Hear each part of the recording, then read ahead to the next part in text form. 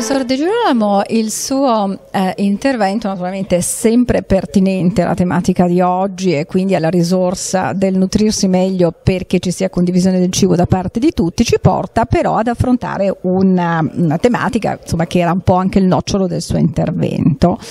In particolare i problemi dell'obesità come influenzano il nostro ciclo veglia-notte e quindi sveglia e sonno. Sicuramente uno degli effetti collaterali dell'obesità è la difficoltà di questi soggetti ad avere una corretta ventilazione polmonare durante la notte. E questo può indurre una di quelle patologie dette apnee notturne che poi hanno delle conseguenze notevoli sia a livello cardiocircolatorio che anche a livello di qualità del sonno perché questi pazienti ovviamente alcuni sono russatori quindi già ci danno problemi sociali con le rispettive compagne e compagne ma anche è un problema di una difficoltà a dormire di raggiungere un sonno effettivamente riposante.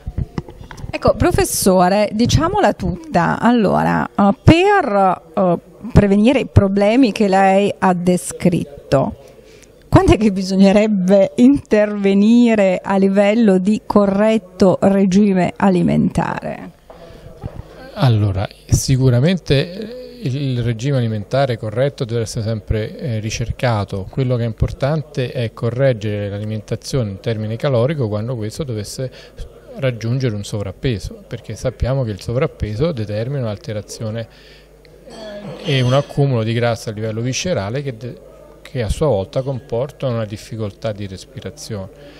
Quindi diciamo un po' tutto collegato, la, la parte del, dell'otorino-laringoiatra è quella di gestire un po' la pervietà delle vie aeree, cioè quanta aria riesce a passare, quindi più grasso si deposita intorno a queste tubature, detto in modo molto volgare, più, più difficoltà ci sarà all'aria a passare e più facilmente avremo delle forme di apnee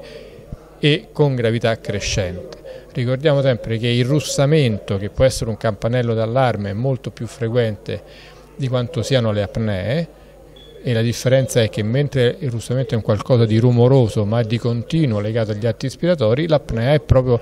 la sospensione dell'atto respiratorio stesso che può durare 20-30 secondi ed è quello un parametro che deve essere monitorizzato dal partner per indirizzare il compagno verso una valutazione di questo aspetto. Benissimo, grazie professore.